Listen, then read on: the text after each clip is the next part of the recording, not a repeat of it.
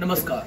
स्वागत है आपका इंडिया न्यूज़ के digital platform India News National पर। और आपके साथ मैं हूँ गौरव सबसे पहले मैं आपको एक तस्वीरें दिखाना चाहता हूँ ये तस्वीरें टीवी स्क्रीन पर जो आप चल रही हैं, वो आप देखिए।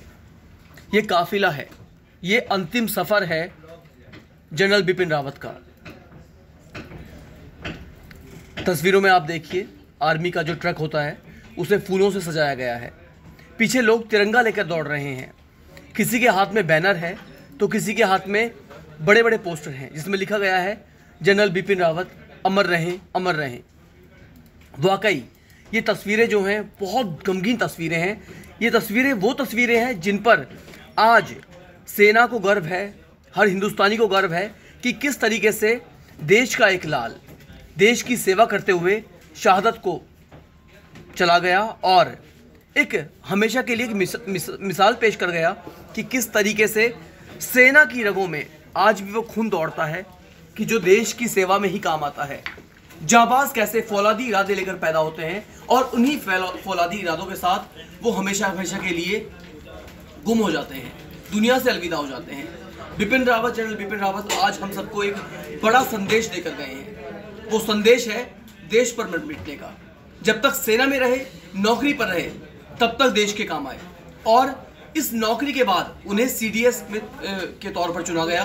देश के पहले सीडीएस बने, यानी chief of defence services staff तो उसमें क्या होता है कि ये जो पहली बार उनके लिए पद निकाला गया था, वो पद ही कुछ इस तरीके का था कि तीनों सेनाओं में समन्वय बना रहे। जल सेना, थल सेना, वायु सेना। तीनों के जो वरिष्ठ अधिकारी हैं, जो प्रमुख है तीनों सेनाओं के, वो उनमें आपस में समन्वय बना रहे, उनके ऊपर एक सीडीएस रहे, जो बड़े फैसले ले सके। और इसमें कहने में तो कोई दोराई नहीं है कि जब से बिपिन रावत को सीडीएस चुना गया था, उसके बाद से लगातार हमारी आर्मी मज़बूत हो रही थी, हमारा देश मज़बूत हो रहा था, चाहे वो चाइना हो, चाहे वो पाकिस्तान हो। हर कोई हमसे डरने लगा था, थर्राने लगा था। ये रुतबा था जनरल बिपिन रावत का। हालाँकि अब खबरें ये भी आ रही हैं कि जनरल बिपिन रावत के बाद बहुत जल्द देश की सरकार एक अहम फैसला लेने वाली है और अगले सीडीएस का चुनाव करने वाली है। क्योंकि सीडीएस के पद से ये तो साफ़ हो चुका है कि सीडीएस का पद कितना ज़रूरी है देश की आन, बान और शान के लिए।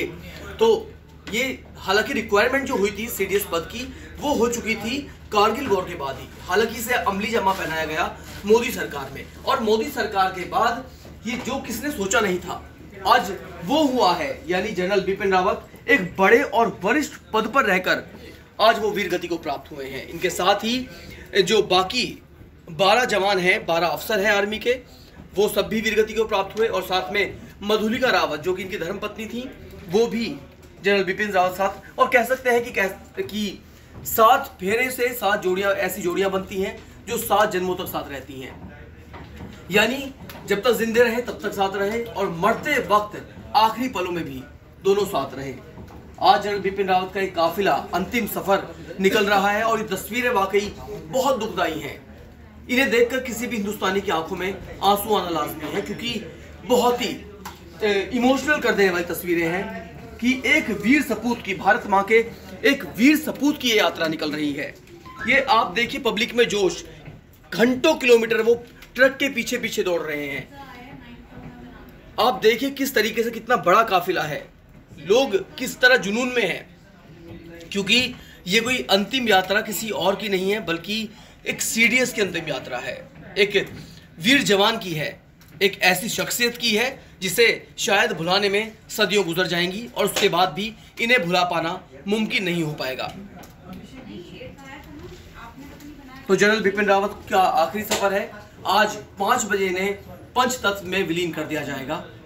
इन्हें इनकी धर्मपत्नी के साथ तैयारियाँ ऑलमोस्ट पूरी हो चुकी हैं। फ़िलहाल ये जो काफिला है, उनके घर से निकल चुका है। अंतिम यात्रा चल रही है।